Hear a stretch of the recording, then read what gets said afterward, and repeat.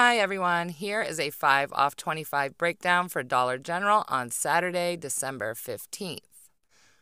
Grab a pen and paper and write this down. Here are the products that you will need to buy. First, we're going to get the Charmin Essentials. We're going to buy two of these. They are the six count pack and they are on sale for $3.95. Then you want to pick up one pack of the Cottonelle. It is 12 rolls, and these are also on sale for $3.95. Next, you want to get one Crest Pro Health, and I will say you want to stick with the Pro Health because there are a lot of exclusions on this coupon. Next, the corn is buy one, get one free from Libby's, and we're going to pick up eight of these. Then you want to get one Garnier Whole Blends shampoo or conditioner. It doesn't matter which um, kind, but you want to get one that's $3.50. Then we're going to pick up two of the Veet facial wax strips, and those are 12 count. Make sure you get the $2 ones. The total before coupons is $28.75, and we have to minus the BOGO instant savings of 320, leaving us at $25.55.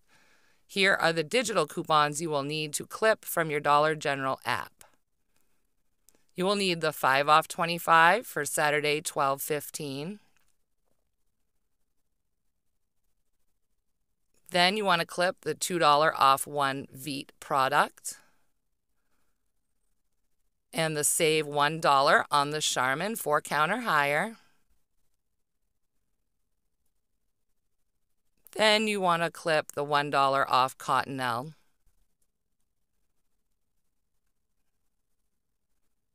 And also you want to clip the $2 off Crest toothpaste 3 ounces or more.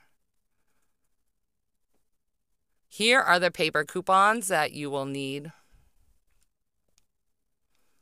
You want to clip the $1 off Charmin from the December Procter & Gamble. Then you want two of the Libby's $1 off four from the 1111 Retail Me Not. And you want the $2 off one Garnier Whole Blends from the 12.9 Retail Me Not. Then you want to go over to lozo.com and print off your $2 off one Veet